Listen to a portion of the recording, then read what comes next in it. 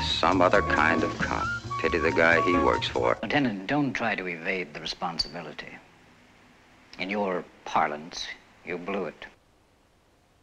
What the hell is going on here? A high-speed pursuit? Two men are killed? An officer in the hospital? A witness almost murdered? Captain Baker would like to have a word with you. Now listen to me, Lieutenant. All right, nail him. I want him written off. Do you let anything reach you? I mean, really reach you? Or are you so used to it by now that nothing really touches you? You're living in a sewer, Frank. Day after day. With you, living with violence is a way of life. Living with violence and death.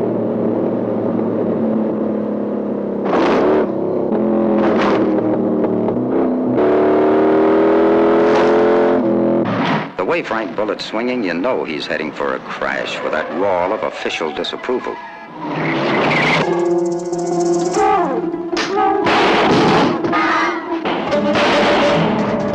But when some rare Chicago blood starts spilling in San Francisco, they hand Bullitt the mop. Now, what went wrong, Lieutenant?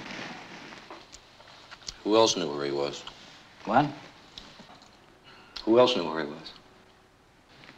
What are you implying? Well, they knew where to look for him and they used your name to get in. Are you suggesting I disclosed his whereabouts? You believe what you want. You work your side of the street, and I'll work mine.